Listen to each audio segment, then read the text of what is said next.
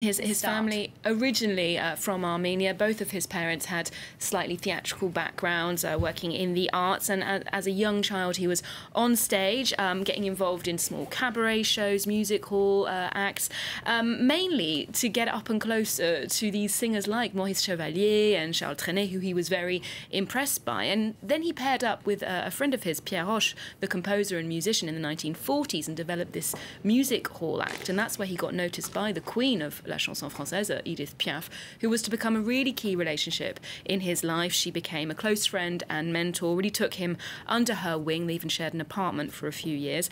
And she took him to America to tour with her as a songwriter and manager in 1946 and worked with him on his voice and tried to help him launch this career. She even uh, urged him to get a nose job, which he eventually did. He got plastic surgery and she only um, said afterwards that she preferred his old nose. So all of these obstacles that he was encountering took a, took a, a, little while for his solo career to take off because people said, you know, he was too short, he didn't have the necessary charisma, his voice was too weak, and his he was very very honest. He didn't sugarcoat things in his writing, in his songs, but he was very passionate, very determined, and above all, he was a very good writer. He was above all uh, a lyricist. So eventually, in the 50s here in France, he had a number one hit in 1956 with Sur ma vie or On my life, and and uh, the rest is history.